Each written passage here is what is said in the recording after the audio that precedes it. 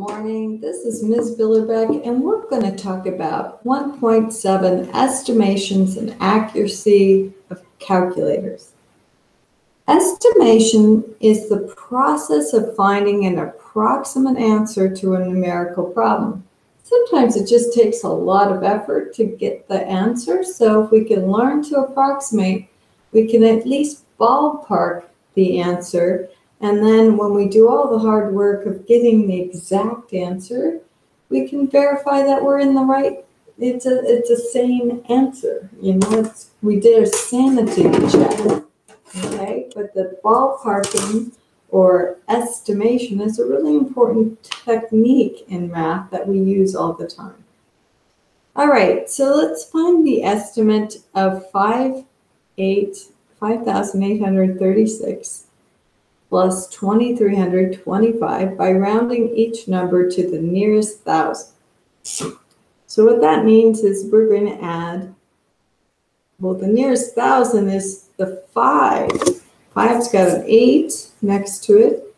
So the eight tells us how to round. So five or more raise a score. That's definitely five or more. So we're going to round um, this to 6,000. And we're going to round this one. This is four or less, let it rest. So we're going to round that to 2,000. So that equals 8,000. So this is going to be about 8,000 when we're done. Okay, so now let's round to two, or we're going to go to two significant figures. So that's 58. So we have 5,800 plus, and then we have 2,300. So let's see what that's going to be. So if we add that together, we get 0, 0, 3 plus 8 is 11, carry a 1, 2 plus 5 is 7, plus 1 is 8. So these are pretty close. All right, well, let's do the exact one. I'm going to use my dry erase calculator over here in the corner. So I have five, eight, three, six, and I'm going to add 23, 25. Add those up. I get 11, carry 1, 6, 11, carry 1, 8. So the real answer was 8161. So that was pretty close. Okay, so estimation, I like that one. Two significant figures. That was a pretty close one. This was a little off. All right, let's look at another one. So let's estimate the value of 8 or 79.5 minus 3.21 times 29 0.52. And this is about 80, so let's go with 80. Okay, and that's about 3. And that's about 29, so let's make that 30. Ah, it's really easy. So 3 times 3 is 9, and then we have a 0, and we have 80. So 80 minus 90 equals negative 10. Okay, so if we round to, um, well, let's actually find out what the real one is. So we have 79.5 minus, and if we multiply that, we I'll use the dry erase calculator over here. So we have 3.21, and um, that would be 2592. Leave a space here for this is in the 20s position, so that's where that zero is coming from. 2 times 2 is 4. Then 2 times 5 is 10. 2 times 8 is 9. And 2 times 2 is 5. And now we're going to multiply from a hundreds position, so we're going to put two zeros. So 3 times 2 is 6. 3 times 5 is 15. Carry 1. 3 times 9 is 27, plus 1 is 28. And 3 times 2 is 6 plus 2 is 8. So when we add that together, we have 2, 9, 15, 17, 14, and 9. And then we have to move the decimal 1, 2, 3, 4. So 1, 2, 3, 4. So after all that hard work, this was 94.7592. Well, it's a lot of work. I like this estimating thing, don't you think? We just got 90, but that was a little off. Okay, so um, we're going to subtract. So this is smaller, so let's just put this under here, and we're going to subtract away. And then we're going to remember that the bigger number was negative, so our answer is going to be negative. So that's 79.5. Um, so all this comes down. Then we have 2. We're going to take one from here. So 14 minus 9 is 5. And this is 15, and it would be negative 15.25. So negative 10, it was kind of a ballpark. Wasn't really, I mean, the real answer is this. But look at all the work we had to do. So this is really quick to do an estimating.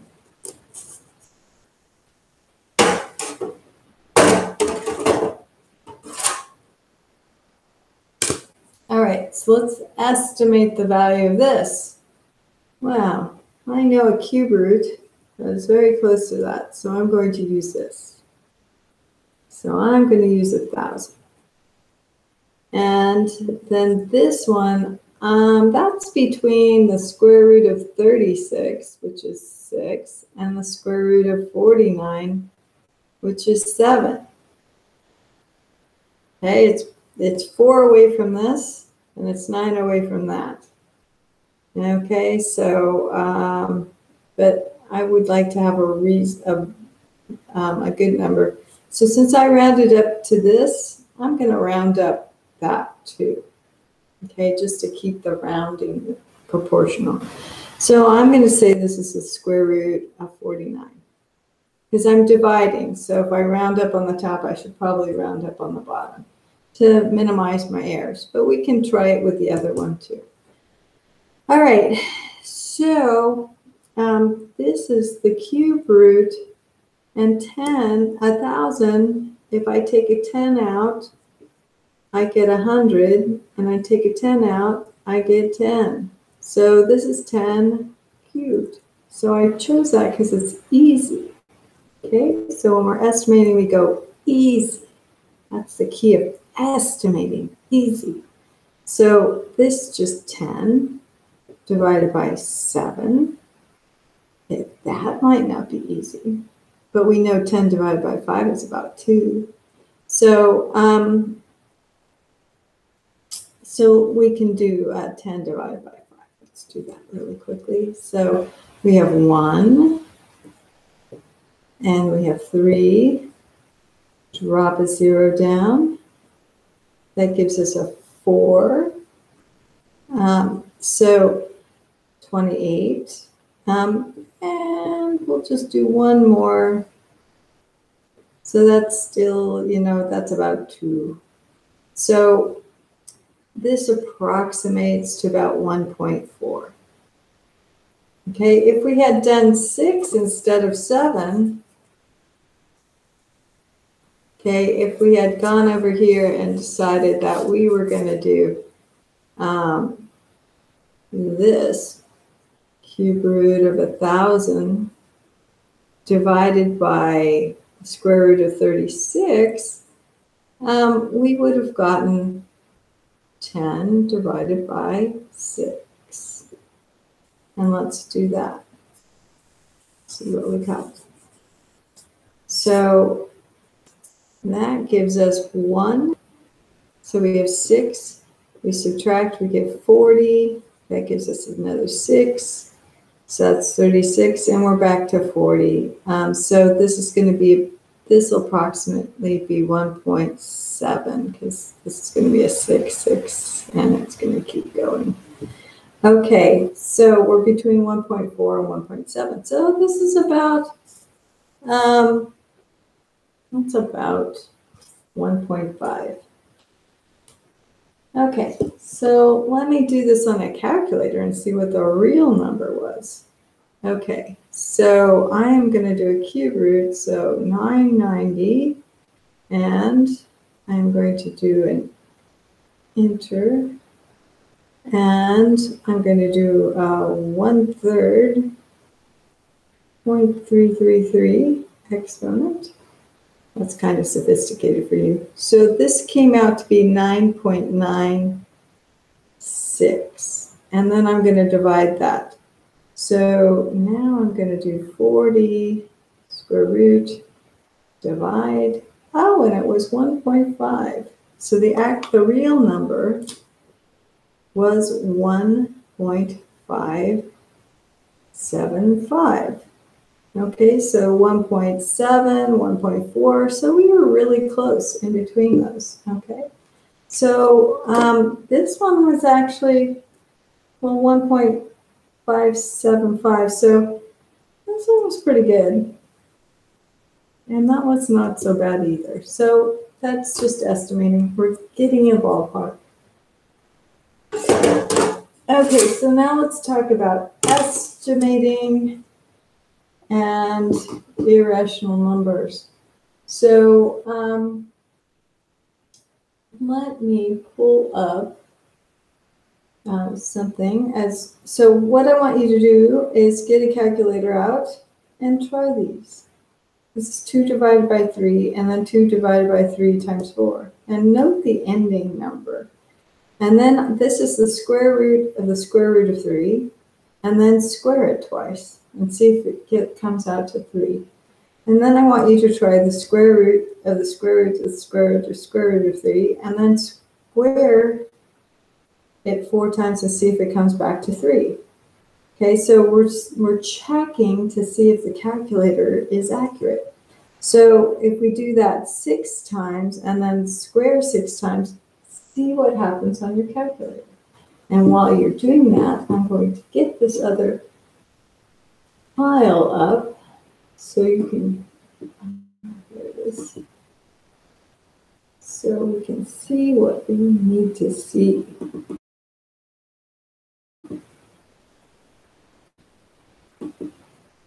Okay, so here we go. Okay, the number family. All right, so let me go back to where I was.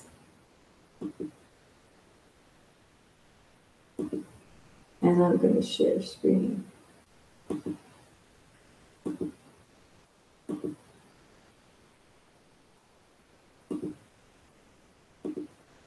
Okay, so this is the number family. So on the number family, these are all real numbers here, okay? So we start with natural numbers, which are like caveman numbers, counting numbers. They saw one buffalo, two buffalo, three buffalo. They had no concept of zero, okay? So it wasn't until, you know, uh, I think the Chinese in the Middle East, they came up with the idea of zero for the first time. So um, then a new family of numbers was created called called whole numbers. So whole numbers, the only addition to to uh, natural numbers was zero.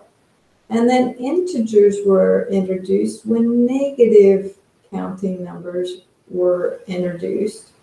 Rational numbers were introduced when we had a negative 9 over 2. Um, you know, you can write it as a fraction with two integers in the numerator and denominator. You could have a terminating decimal that ends. Terminating means ends. Or a repeating decimal. So this would be 7.12121212 forever. Okay? But irrational numbers are decimals that never repeat and go on forever, like pi. Pi is 3.14, and it just keeps going on. Um, I think it's 3.14159, and it keeps, it just keeps going.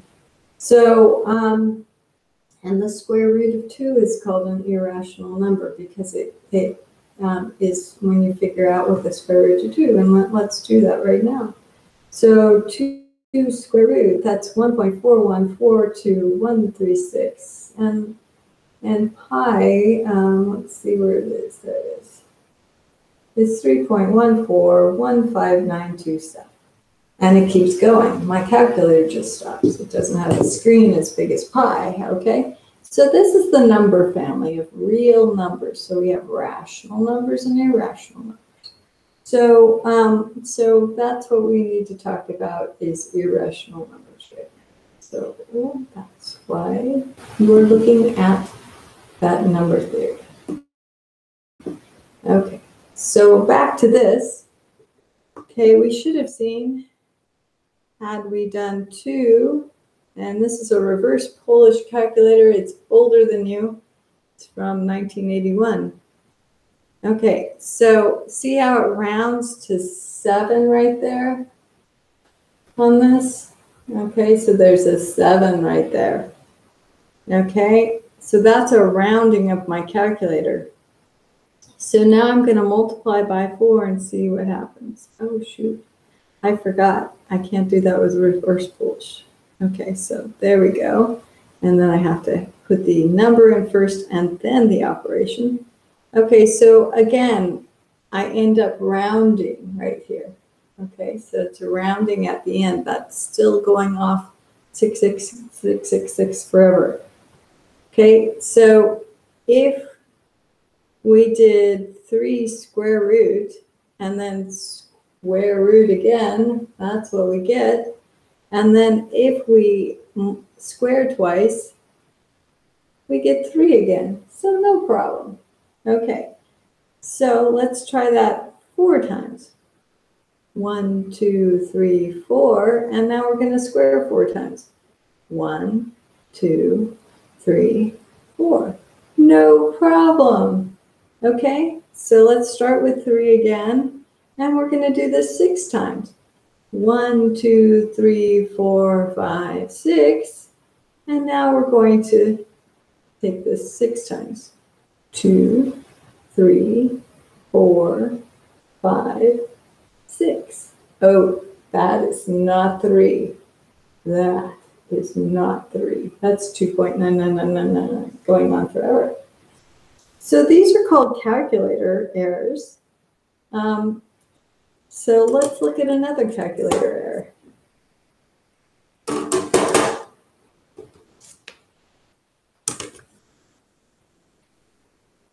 Okay, so with your calculator, um, we are going to take one, two, three, four, five, six, seven, eight, nine, and we're going to add 0.1008. And that's what we get. Okay. Now we're going to subtract 1, 2, 3, 4, 5, 6, 7, 8, 9. And we should get that, shouldn't we? That's what we think. Okay, let's see. One, two, three, four, five, six, seven, eight, nine, minus. Oh, we got zero. Our eight is gone. That is not what we were expecting, was it? No, no, no, no. Okay, that is a calculator error. All right, so let's try this one. One, two, three, four, five, six, seven, eight, nine. And we are going to take 0.993 and we're going to add it. Okay, so I added 0.993. Now I'm going to subtract, and this is a really weird calculator because it's reverse Polish notation, so no one can steal it and because nobody can use it but me. Okay, so it's 1, 2, 3, 4, 5, 6, 7, 8, 9, minus. Oops, that didn't minus. Okay, let me do that again. One, two, three, four, five, six, seven, eight, nine. And then I'm going to enter, I think I forgot to enter 0.993 and add. Okay, so now I added that properly. So reverse Polish is very difficult. So one, two, three, four, five, six, seven, eight, nine, subtract. Ooh, it rounded this to one. Do you see that? That's a one right there. That is a one. It is no longer 0.993. It rounded it up. Okay, so what are we talking about here? Okay, we are talking about truncation and rounding errors. So what truncation is, and it's part of the software in all calculators, this is from 1981. They've been doing this from the dawn of calculators, since we moved away from slide rules, okay? Slide rulers. So truncation is just ending an, a, a number that never ends, you know, that keeps going. Rounding is, oops, that's not rounding. Rounding is going up to six, seven. Okay, so that's that's rounding where we just move the six to the seven to a seven. Okay, but truncation it just ends it. So calculators have truncation errors and they have rounding errors. So we have to be aware of that. So we don't want to round with our calculator until the very, very end. Otherwise, we'll get these calculator errors. So let's find 5.6 or 56.48 times 13.87 rounded to three significant figures. Okay, so I am going to, um, well, let's do this with a dry erase calculator. So we have 56.48. Actually, we're using calculators right now, so let me just use a calculator. Because you have one in your hand, so we might as well use it. So 56.48, enter, 13.87, and then I'm multiplying. This is that's how you do reverse multiplication. Just taught you that because now my calculator can be used by others. Okay, so we have seven, eight, three point three seven seven six. Okay, but it says round to three significant figures. So that's one, two, three. Oh, well, the three's there, so it's four or less, let it rest. So this number is 783. So that is rounded to three significant figures. All right, this one says find this rounded to three significant figures. Oh, okay, so I already rounded to three significant figures up here. So I took this four, since there's an eight here, I rounded it up to five. So this is rounded to three significant figures, but it's this number rounded to three significant figures. This eight, since I have a seven here, it's still five or more raised to score, so I have to round that up, so it's 13.8. So let's find what that is. So I have 56.5, enter, then 13.9, and I'm going to multiply, and I get 7, 8, 5.35. So if I'm rounding that to three significant figures, then my answer is 785. Okay, so that is off. These are different numbers. Okay, so we have to be careful about rounding and especially rounding too early.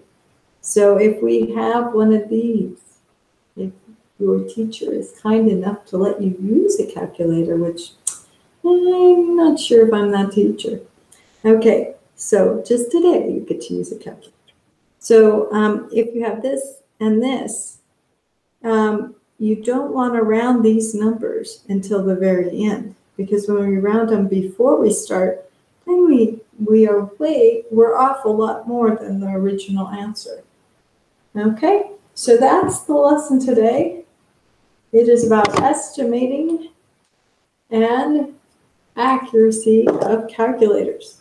So I hope you learned something valuable today. Just don't round too early, okay? Have a wonderful day. Bye-bye.